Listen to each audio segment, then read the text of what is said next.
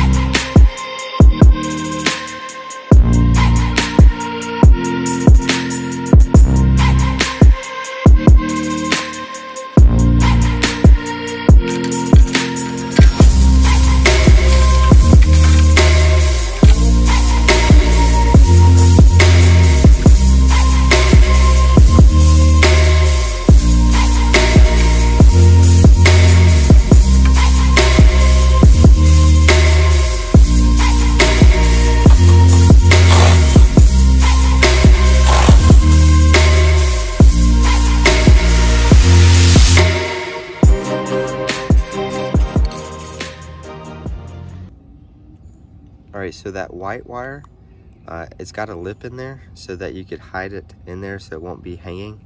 And then it's got a little outlet for your black wire. So it's actually pretty clean little setup there. You'll see when it gets on there.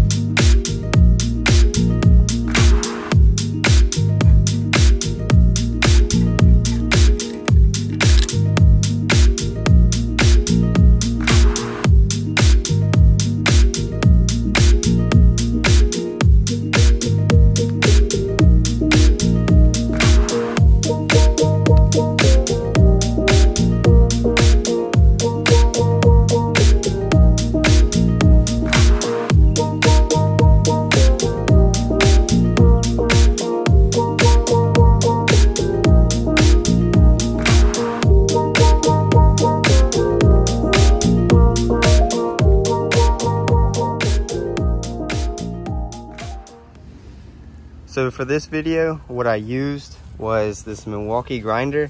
And I've got this paint uh, grinding disc.